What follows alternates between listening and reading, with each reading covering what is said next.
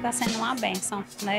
É, já a segunda edição que eu participo da Fêmea, para mim é uma capacitação, um network muito bom, onde a gente está aqui é, expondo nossos produtos, mas também trazendo as novidades para Mossoró. E a Fêmea está me trazendo essa oportunidade. Me sinto muito bem, né? Porque a inclusão é uma coisa que a gente vem lutando há anos, né? Graças a Deus, aos poucos já conseguimos bastante coisa. E a Fêmea é sim uma, uma feira inclusiva que sempre tem é, participação de pessoas com deficiência, seja como eu empreendendo, né? E nas apresentações. E só tem crescido e mostrado a Mossoró que a pessoa com deficiência também faz parte da sociedade. A gente precisa cada vez mais fortalecer, dar a mão, apoiar e valorizar que essas pequenas e médias empresas gerenciadas, administradas por mulheres possam crescer, evoluir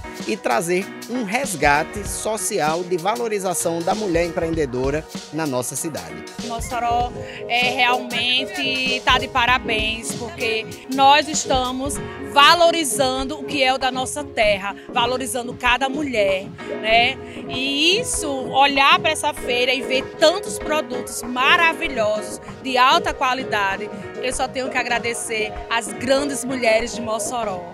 Parabéns para nós, mulheres. Thank you.